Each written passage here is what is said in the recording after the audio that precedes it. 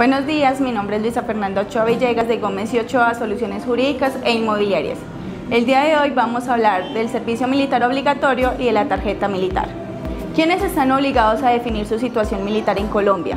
Todos los varones que cumplan su mayoría de edad, excepto los bachilleres, aun cuando ya la hayan cumplido. ¿Por qué? Porque se van a definir al momento de su graduación. Bajo ninguna circunstancia un menor de edad puede ir a prestar servicio militar. Por ello, a los estudiantes de grado 11 que resulten elegidos para prestar servicio militar, es la incorporación a las filas se le aplazarán hasta que se gradúe.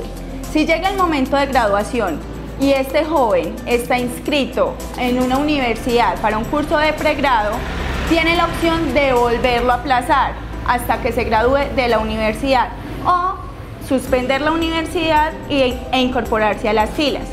Si decide incorporarse a las filas, la universidad le debe guardar el cupo en las mismas condiciones que las tiene al momento del ingreso. ¿Quiénes no están obligados a prestar el servicio militar en Colombia? Los hombres con alguna limitación física y sensorial y los indígenas que aún vivan en su cultura y que conservan las características sociales, económicas y culturales propias de su tribu. En épocas de paz, ¿quiénes no están obligados? Los clérigos y los religiosos los condenados a pena accesorias de pérdidas políticas, los hijos únicos, el huérfano de padre y madre que esté a cargo de sus hermanos, el hijo de padre o madre mayor de 60 años que esté en incapacidad de trabajar y el hijo o hermano de persona que haya muerto o adquirido alguna inhabilidad en, en función de prestar su servicio militar. La duración del servicio militar es de 12 a 24 meses según lo disponga el gobierno.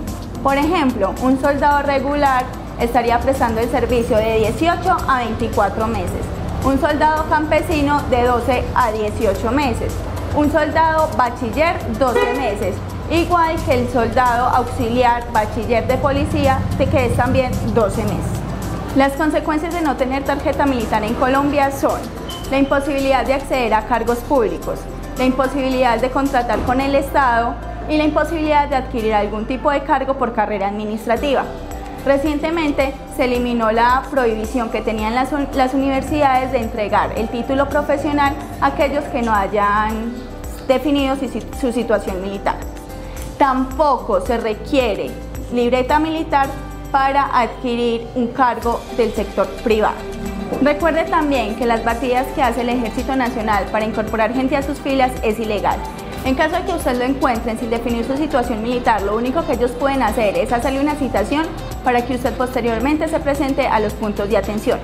Sin embargo, si lo encuentran y usted ya tiene la calidad de remiso, sí se lo pueden llevar, pero siempre debe haber una orden previa individualizándolo a usted.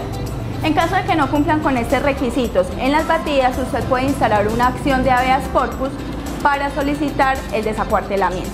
Recuerden que les habló Luisa Fernanda Ochoa Villegas de Gómez y Ochoa Soluciones Jurídicas Inmobiliarias, que nos encontramos ubicados en la calle 32, número 3006 de Marinilla, Antioquia, detrás de la iglesia del Parque Municipal.